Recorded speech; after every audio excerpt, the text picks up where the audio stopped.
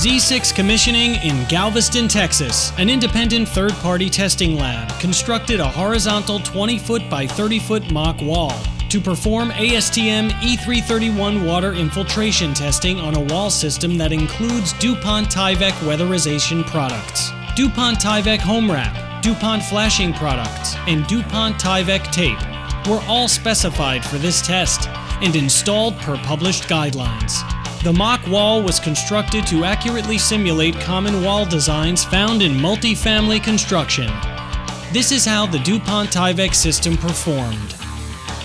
During three cycles of 15 minute water testing at 2.28, 4, and 6.24 PSF, the DuPont Tyvek wall assembly was monitored continuously and passed the ASTM E331 test with no leaks.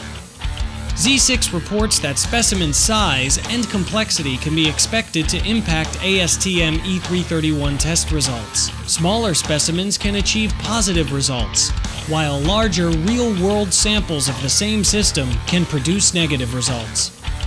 However, Z6 also reported, with regard to the Tyvek home wrap system specifically, that the size of the sample did not impact the test results. So whether your structure is large or small, DuPont Tyvek weather barrier systems are designed to keep the elements out.